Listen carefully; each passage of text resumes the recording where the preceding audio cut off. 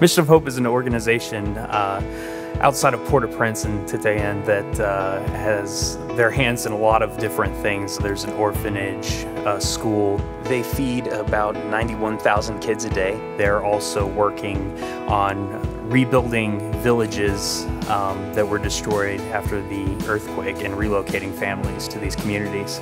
The church I go to was partnering with Mission of Hope Haiti to do a trip with the high school age kids to just do a service project abroad and kind of open their eyes to other places in the world than Northwest Cary.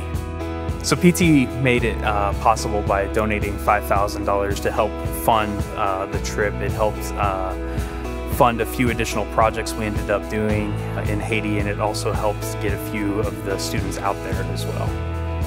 For the week that we were in Haiti, we ended up painting a couple of houses we gave a pair of goats to a family and then just kind of had this big ceremony and they had to like sign a certificate of ownership and had to promise that any offspring was going to be shared with the village kind of thing.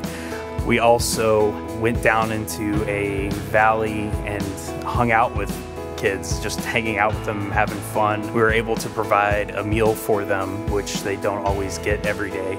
We helped with tree planting in a village. There were fruit trees, so they would help feed uh, families as well.